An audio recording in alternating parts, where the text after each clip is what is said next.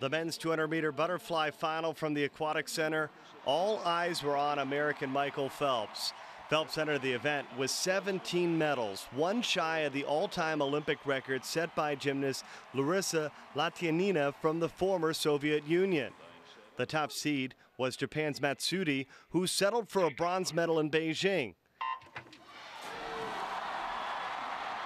In the two length race, South African Chad Le Clos got out to a great start using his power off the block.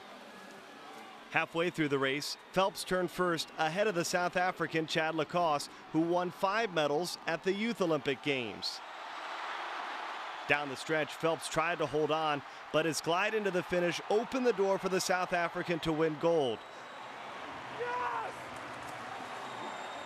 Le Clos, with a brilliant finish, wins his first gold medal, finishing five one hundredths of a second ahead of Phelps. The South African wins gold, while Michael Phelps earns his 18th Olympic medal, tying the all time record. Japan's Matsuda finishes third with a bronze in the men's 200 meter butterfly final. Greatest feeling of my life. Can you take us through the race? I just remember it, it's just like it's been in my genes for the past four years, you know. Michael Phelps is my hero, and uh, I just wanted to race him in the final, and uh, I just wanted to win so bad. Uh, I can't believe it. What does this mean to you and your family? Uh, you don't understand what this means.